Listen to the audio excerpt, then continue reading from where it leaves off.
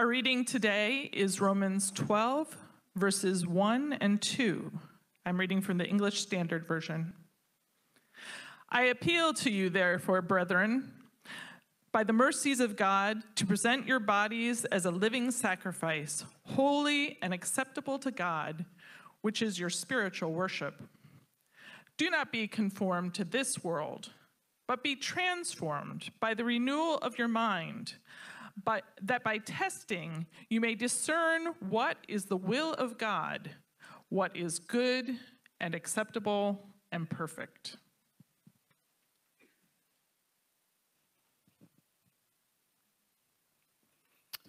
Thank you, Lauren.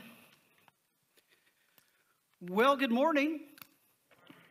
It is really good to see everyone here this morning, and it is really good to know that you are out there in uh, cyberspace watching us. Um, why don't you wave?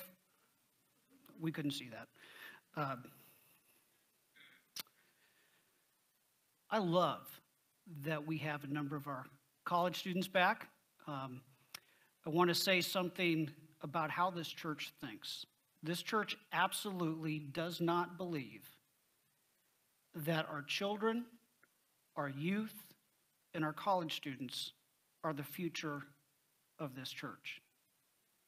We absolutely believe that you are the present of this church, that you are every bit as much a part of this church as anyone else. And we are delighted that God is working in you and through you while you are midst. Um, you're going to actually see a really cool example of that next week, by the way. Um, I'm just looking forward to that. Well, uh, in a different life, I was a youth pastor. Where's Jordan? I wonder if Jordan is fully bought on or fully been made aware that this has now been part of his job description. Uh, as part of being a youth pastor, and what I did is I taught people how to drive. Uh, I would say a good 30 to 35% of those people are still alive. Um,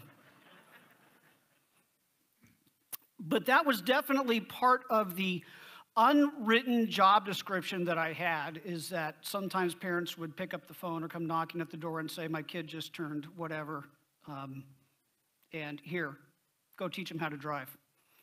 Which was really interesting because where I lived was in a very mountainous part of Oregon, and I had a stick shift. So um, they learned a lot. Now, one of the things that was really fascinating, and for those of you who who have learned how to drive, you will probably remember this moment, or if you've taught someone how to drive, you will remember the moment that you had your first lesson, you got into the car, you sat down behind the steering wheel, and panic started to grow. And you realized what seemed like a really cool, fun thing was now a little intimidating. And you're sitting there thinking, now what do I do? And you haven't even turned on the car yet. Right? And then you turn on the car, and over the next, oh, I don't know, hour, every four seconds, you're going through this, now what do I do? Seasoned with panic. Most important you come to realize the most important thing that is happening in that moment, the most important thing that is in that car at that moment is not the brake, it's not the steering wheel, it's not the accelerator. It is that hopefully calm person who is sitting in the passenger seat telling you this is what you do next. Anyone else feel a little bit like it's the first day of learning how to drive, and you're sitting there and you're thinking to yourself, now what do I do? You just keep asking God, what do I do now? School is starting up. Now what do I do? Mom has decided to homeschool me. Now what do I do? My business can't open. Now what do I do? My friend just went on one more rant about masks or police or Black Lives Matters or some other issue where we disagree. Now what do I do? And we keep waiting for God to tell us start your turn here, hit the brake here, floor it here. The last major section of the book of Romans, as we work through our series in Romans, is going to deal with the question of now, what do I do? Now, let's remember what has been going on in the book of Romans.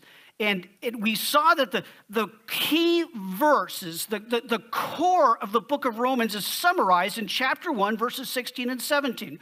For I'm not ashamed of the gospel, for it is the power of God for salvation to everyone who believes, to the Jew first and also to the Greek. For in it the righteousness of God is revealed from faith for faith, as it is written, the righteous shall live by faith. And if you remember, here's what's going on in the book of Romans. You've got a church that is made up of two groups of people. You've got the Jewish community who had originally been in charge of the church in Romans, but they had actually been exiled. And after they were exiled, the Gentiles, who they had led to Christ, had taken over leadership. Well, eventually those Jews were allowed to come back to Rome, and they're back into a church that looks different. They are no longer in charge. Gentiles are doing things Gentile ways. And there is tension that's developed. What is it supposed to look like to be the church of God when you have these two groups coming together. And Paul is addressing that tension all throughout the book by showing them how to resolve the tension. And what he's showing them is if you want to know how to relate to one another, if you want to know how to be the church, how to be the body of Christ, you have to understand the nature of righteousness and the nature of the gospel. The gospel shows us the true nature of righteousness. And once you know that, you will know how to live because the righteous live by faith. And here's how that theme is developed throughout the book of Romans. In the first 11 chapters, we get an understanding righteousness is and the fact that it comes from God. And so Paul is laying this foundation that if you understand that every single person, it doesn't matter how religious you were when you were growing up, it doesn't matter if you never thought about God while you were growing up, every single person is separated from God by nature. They are rebellious against God. And it is only by God's gracious gift of Jesus on the cross, who was raised three days later, that we can be in relationship with God at all. And it is Jesus' perfect life that gets credited to us when we become a follower of Christ. And that is what makes us righteous. And we just finished going through this section, foundation for how do you think about what is righteous, what is righteous, and that is going to lead him to say, now, in light of all of that, this is how you live. And that's where we are now. We are entering the second section the righteous live by faith. Now, here's what's fascinating He is not going to start by giving you a list of things to do, He's going to do something far more important. He's going to set the tone for the rest of the book by talking about how you because how you think is the heart of what you do. It's where what you do comes out of. How we think is foundational to our life with God. And Paul is going to show in these two verses first what it is that we are called to do. That's verse 1. And then verse 2, he's going to talk about how it is possible for us to do it. And we're going to look at each one of those verses in turn, and then we're going to step back and look at some bigger principles that really apply across multiple areas of life. But the first thing we want to do is start where Paul starts with what is it that we are to do? And we are to give our lives as worship to God. Now, verse 1 starts with an appeal. He calls out, This is something I want you to do that is so important. And, and that appeal comes in the form of a command. And here is the foundational command we are to present your bodies as a sacrifice to God. That's the command. That's what Paul is appealing for us to do. Present your bodies as a sacrifice to God. Bodies is just a way of saying yourself. Present how you go about daily life. Present how you get up in the morning and treat your brother. Present how you go through your day at work or at school. Present those things as a sacrifice. It's interesting that this word present and sacrifice actually went together in the original language. Um, present is the word that was used for when you make an offering and put that offering on the altar. It's the word that was used to describe what is going on when you take a small animal as part of the sacrificial system and, and you kill that animal in worship to God. And think about what a sacrifice shows. A sacrifice shows trust in God, right? You're, you're giving up something that is important to you, that is, that is valuable to you. If you're, if you're sacrificing a lamb, that lamb represented income to you. It's an act of devotion, right? When they originally sacrificed animals, they were giving up something that they had every right to keep. And it's also a declaration of reality. Right? When they were doing these sacrifices, what they were enacting is the price of sin. They were enacting the reality that sin costs a life. Here's the core command. Here's what verse 1 is saying Give your daily life as an expression of trust and devotion to God. The reason that he gives to do this is because of the mercies of God. This is simply referring to, to his acts of compassion. You can think about it as, in a sense, everything he's talked about in, ver- in chapters 1 through 11. All his acts of compassion. The fact that he gave Jesus, his only son, to die on the cross so we can be in relationship with Him. The fact that if you are a follower of Jesus, you have the Holy Spirit in your life right now, changing you, transforming you, empowering you. The fact that the Father is always at work, caring for you and protecting you and providing for you. In light of that, in light of all that God has done for you, the only logical response is trust and dedication. That's where the command comes in. And here's how he describes that act of trust and dedication it is a living sacrifice. And that's another way of saying it's your day to day life. It's holy. That means it's dedicated to God and it is pleasing to God. He is describing a life, the day to day life that's dedicated to God and is pleasing to Him. And he ends by saying, That, that life that is true worship. That is what worship is all about. So here's what verse 1 is saying. In light of God's acts of compassion, in light of the love that He has shown you, give yourself as an act of trust and devotion to God. Dedicate your day to day activities to His service and to pleasing Him. And as you do this, this is true worship. Quick aside this is just for free. there are people who walk into churches every Sunday, and all through the week, they have lived their lives as a dedication to self. And when they walk in the door, they get upset that the worship leader, the worship team, doesn't lead them in worship.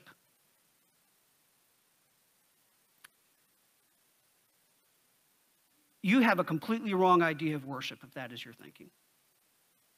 Worship is not the emotion that you generate because someone is singing a certain song. It is a response to the living God who's at work in your life. And that is something that should happen all through the week. And when we come together, we are bringing together and responding to God for what He has done in us individually and in our lives collectively. Um, it has a whole lot less to do with the people up here than with what has been going on in your heart all week long. So if you find yourself you can't worship, if, if you can't worship, if you can't respond in worship to the acts of compassion that God has displayed in your life, I would suggest it has a lot less to do with the people up here than with what's going on in your heart. That's just a freebie. Um, obviously, what we have to do up here is, is important, but I just encourage you to take a look at that. Okay, back to the sermon now. Um, you see what Paul is giving us here? He's giving us a picture of what a follower of Christ looks like. But the problem is that we wrestle with is how do I become that person? When I look at my bank account and see that my bank account is, is desperately low, and I'm supposed to be this living sacrifice, how do I do that?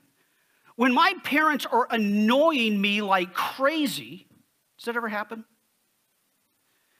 What does it mean to be a living sacrifice, and how do I become that person? When my best friend, or worse, when my boyfriend or girlfriend has just broken up with me and said, We're just going to be friends. Um, what does it mean to actually be a living sacrifice, and how do I become that person in that moment? And that is exactly what Paul is going to address in verse 2. And what he says that we are to do is mind what your mind is becoming. Do not be conformed to the world, but be transformed. That is the key. That is the process of becoming a living sacrifice. Do not be conformed to this world refers to what a sculpture would do in, in forming clay in, in, making, in making a sculpture. It, it's the idea of being shaped or molded into the image of something. And it's saying, do not be shaped or molded into the thinking and the values and, and, the, and the decision making of this world. And what's interesting, some of your translations say this present world, and that's actually a really good translation because there's also this emphasis on what you're being molded into is temporary.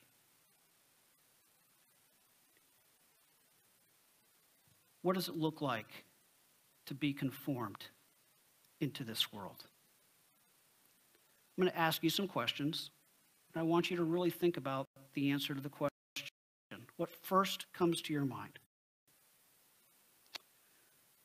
Who is your example of a successful person?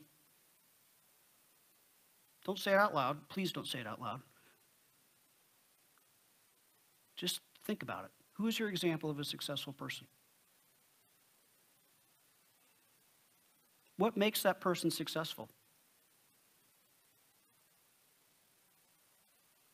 Here's another question Who is your picture of a good person? Just think about who comes to your mind. And then answer the question why did you pick that person? What is it about that person that makes them good? Now, this is where we get to the hard part. You see, being conformed to this present world means that what comes to your mind is going to be determined by the standard of success, the standards of right and wrong, of what is valuable, that are shaped See, if what came to your mind when you think of success was someone like Bill Gates, that tells you that your definition of what the good life is and what success is has been determined by the values of this world.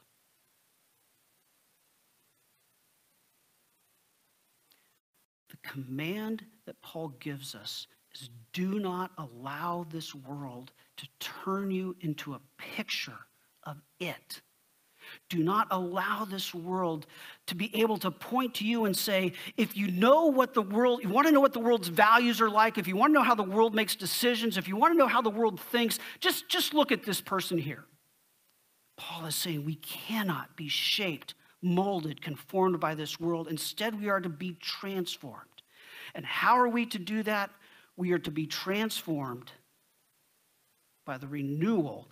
You could even literally say the remaking of your mind. It's an inside out process, right? Think about teaching someone to drive. You don't just teach a person how to drive and say, Well, I'm going to teach you what the steering wheel does. I'm going to teach you what the brake does. I'm going to teach you what the pedal does. Okay, uh, oh, yeah, here's the turn signal. No one ever uses that anyway, um, which is very unfortunate. Um, you also want to teach them how to think like a good driver, right?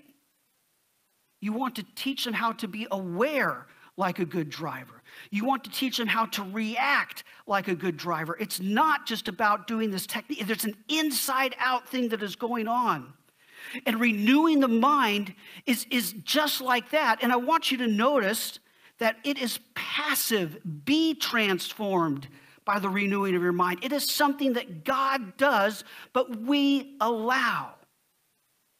And what's the result of us allowing God to remake, to renew our minds? The result is that by testing, by experiencing, by, by the events of life, we discern what the will of God is. What does that mean? What it does not mean is that we discern every morning what socks God wants us to wear. What it means is that we understand what are God's purposes. What is God doing? What does God desire in this situation?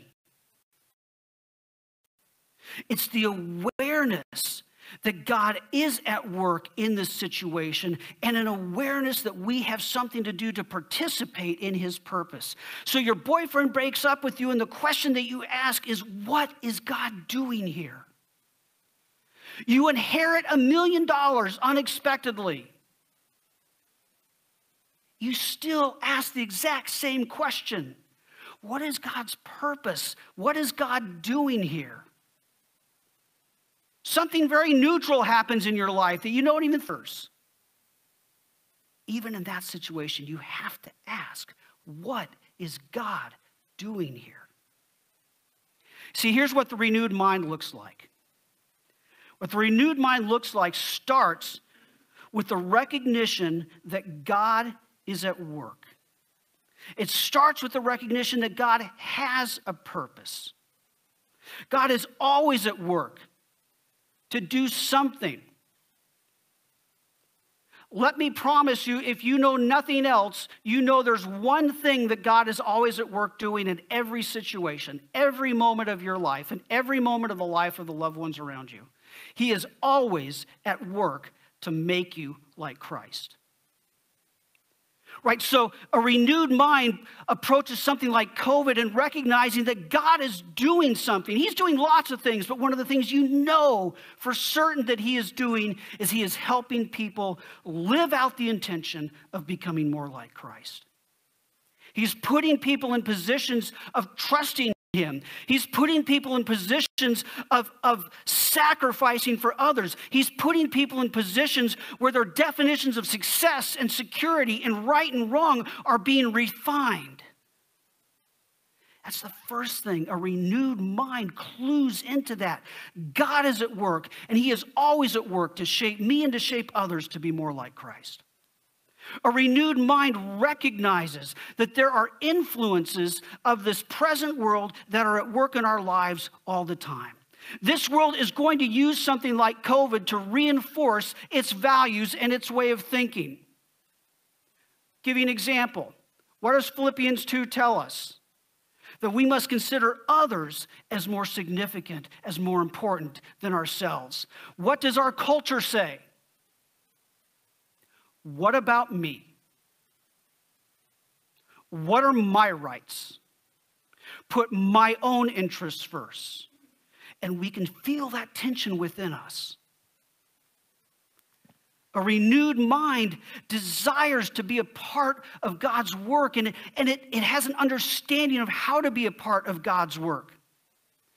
COVID has not for one second stopped our mission as a church. Why? Because we absolutely understand what our mission is.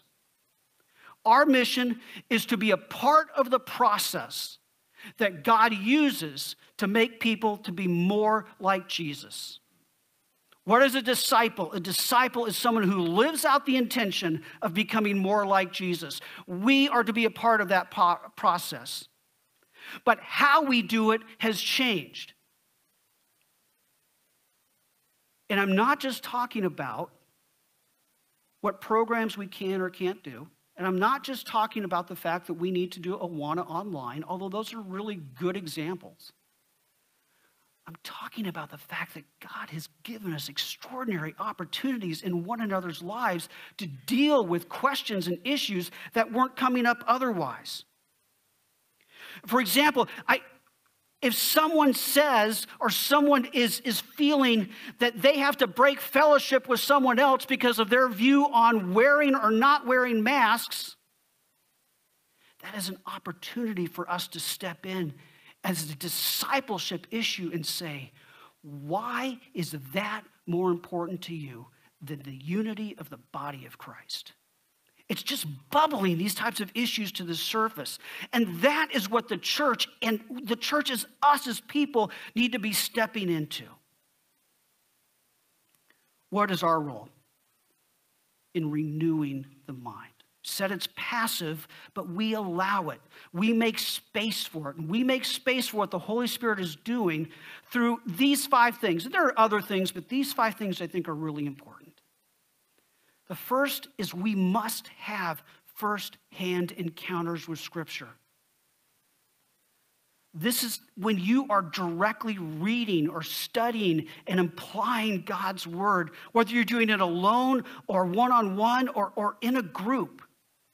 At FBC, life groups are supposed to be a first hand encounter of Scripture.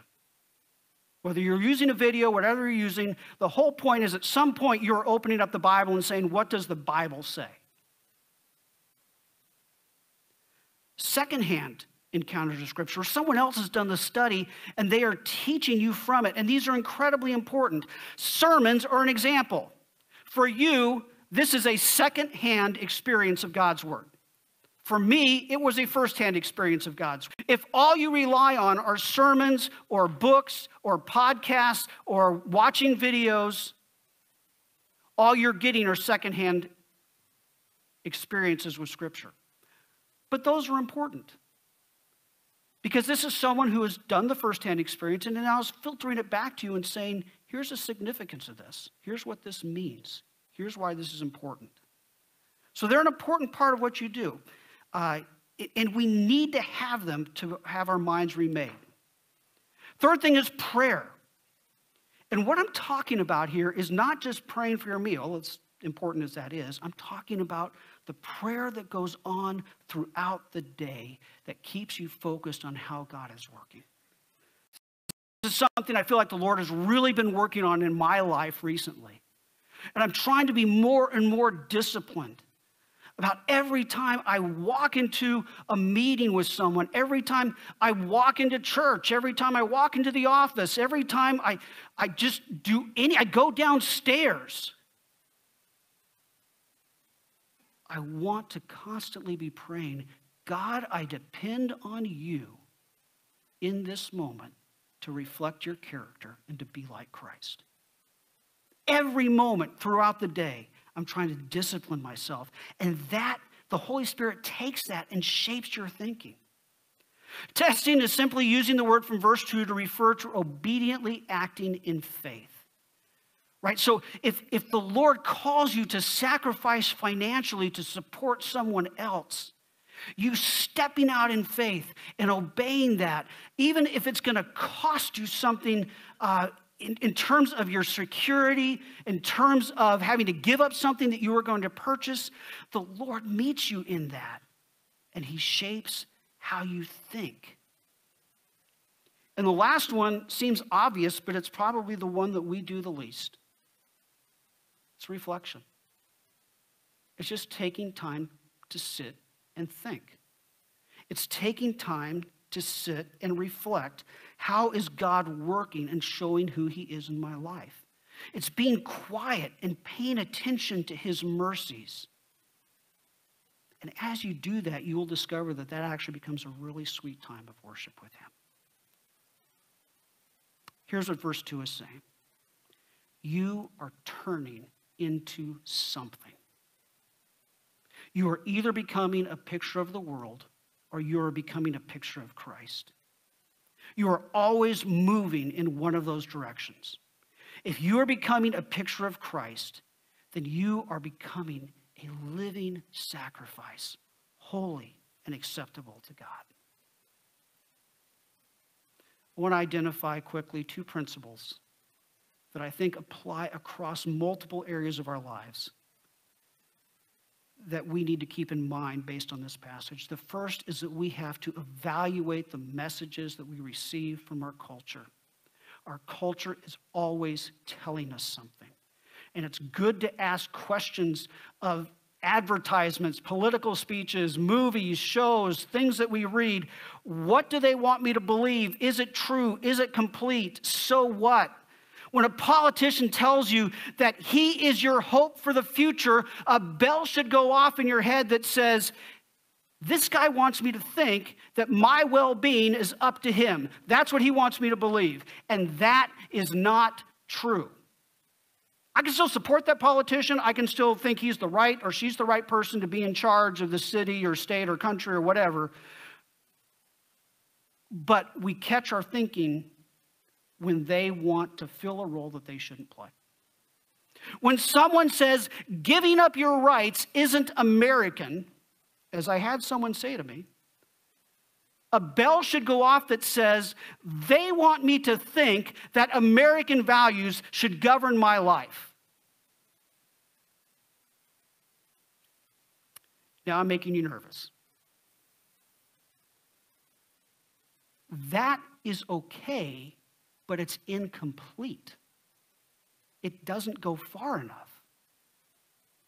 You see, ultimately,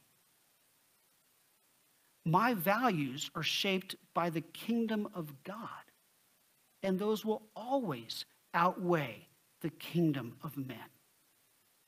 The kingdom of God constantly calls me to give up my rights. Constantly. So what? Why does it matter? Why does it matter that my hope is in God and not a politician? Because I can vote how I think is best, but be at peace no matter what happens. Why does it matter that my highest citizenship is in the kingdom of God? Because it means that right and wrong isn't defined by popular vote. If my country decides that abortion is okay by popular vote, I look at it and say the kingdom of God says no, it's not. I can stand up for what is wrong even if I'm out of step. Stand up for what is right against what is wrong, even if I'm out of step.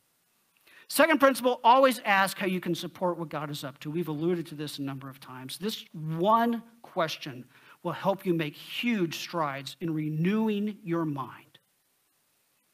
I'll give you an example. We as a family just received some really good news that has related to the uh, settling of my mother's estate, who passed away a few years ago. We just got this two days ago. So for me, I have to ask the question in the midst of really good news what is God up to? And how do I support it? So, supporting what God is up to in this case means paying attention to the hard issues that are coming up. So, I've got to be paying attention to things like Am I grateful to the Lord? Am I really seeing the connection that this blessing was provided by the Lord and is not just something that came because a lawyer worked really hard somewhere? The more disciplined you are about asking this question, the more the events of your life that happen every day become a filter for you to see God at work, and it will transform your mind. It will remake, renew how you think. Now, what do I do? The answer for every situation is to be a living sacrifice. In light of all the compassion God has shown in your life, give yourself as an act of devotion to Him in your daily life. Dedicate your daily life activities to His service and to pleasing Him, and doing this will be your act of worship. And how do I become that living sacrifice? By allowing the Holy Spirit to renew, to remake how it is that you think. So, this is the point that Paul was driving at in, this, in these two verses. Renewed thinking is foundational to life with God. And the implication for that for us from that is that we must pay attention to what is shaping our thinking every day, all throughout the day. So, how many of you drove here and don't really remember driving here? And specifically, what I'm talking about is you don't really remember thinking about when you turn the steering wheel when you hit the gas, when you hit the brake. You didn't really think about the distance that you kept between you and other cars. Of course you don't. Because when it comes to driving, your mind has been renewed you do those things autom- automatically. And even if you, you come into a situation that is totally brand new, you have the skills, you have the way of thinking that allows you to respond to it in, in the best way. And you're not sitting through every event just wondering, what do I do next? And panicking a little. And that is exactly what the Lord wants to do in your life, in, his, in your relationship with Him. That you know the right thing to do automatically. Even if you encounter something completely new, the way you think about it has matured to a point that you can respond to. And that is exactly what the Holy Spirit is doing in you, according to Romans 1 and 2. Allow Him to do that work. Here are some suggestions for how you can make some space for the Holy Spirit to do that work. Again, I'm encouraging you to rewrite the passage. Two short verses that's really, really helpful to get the thinking into your mind by taking the time to rewrite it. Also, helpful is memorizing it. These are two really, really important verses to kind of have at the tip of your brain. Spend some time questioning media this week. Pay attention. What are they trying to sell you? What worldview are they trying to get you to buy into? What are they trying to get you to think is, is good and right? What are they trying to get you to think is the definition of the good life? And how are they inviting you to achieve it? What is the implied picture of what God is like? And always, almost always, the answer is going to be God is absent, it's up to you. And what are people like? It will be something like people are fundamentally good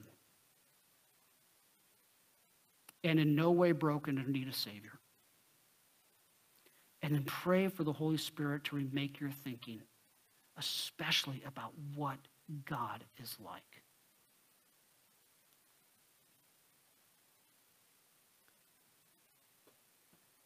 God is in the business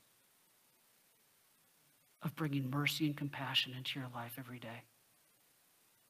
And He invites you to respond to that by thinking a little more like Jesus. Would you join me in prayer that God will do that work in us even today? Father, we are so grateful that your compassion, your mercy, these things are active in our lives every single day. And Lord, we confess to you that we lose sight of that. And because we lose sight of that, we lose sight of how we should respond as living sacrifices, holy and acceptable to you. But Lord, we thank you that as part of your compassion, you forgive us for that, and you set us back on, your, on our feet, and you help us move forward. And Lord, we ask you for that today, that you would help us move forward in thinking with renewed minds, that we might be more like Christ, discerning your will even automatically in situations, knowing how to join what you are doing. Lord, we thank you that you are doing that work within us. We pray this in Jesus' precious name. Amen. So before we go, let me say this. This is what we have said about God. And again, if you're new here, the most important thing that you will ever take away from a sermon or from what happens on Sunday morning is not a to do list. It's this is who we have said God is. And who we have said God is, is this God is a person who, God is an actor in compassion. He, he is always, in every moment of our lives, working in His mercy and His compassion. And God is remaking you from the inside out.